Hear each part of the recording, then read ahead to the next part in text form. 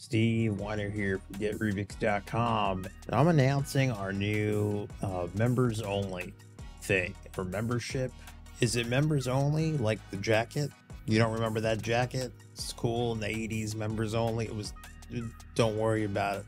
Uh, we just hit 3,000 subscribers, and there seems to be uh, just a ton of requests on, you know, more content or more specific content or how folks can support what I'm doing here. You know, I thought about this for a while and looked into like things like Patreon and stuff like that, but a little too complicated right now. So I thought what would make a lot of sense is to have to have uh, another layer. And what you're looking at is this. That's how it's done. I get asked that a lot.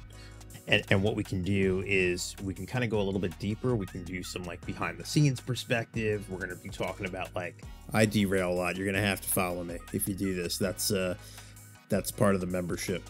The way I do the PowerShell scripts, a little more of that, like the drawn out step by step. How do we create solution? I'm probably also going to show the user experience for when we do remove them kind of spend more time. There's going to be more variety. There's going to be some longer videos. Now, another method, you'll see my thought process. All right, let's let's do this. I'm going to show you the whole. I'm going to show you the whole thing. That'll be kind of part of this industry perspective, right?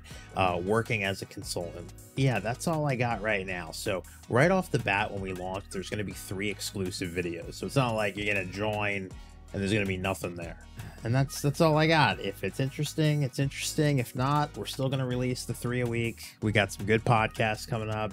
Um, you know, uh, as always, you know, none of that's going away. We're just giving a little bit more. So we'll be seeing you. Maybe I'll watch it and and scrap all this, so maybe you won't see it.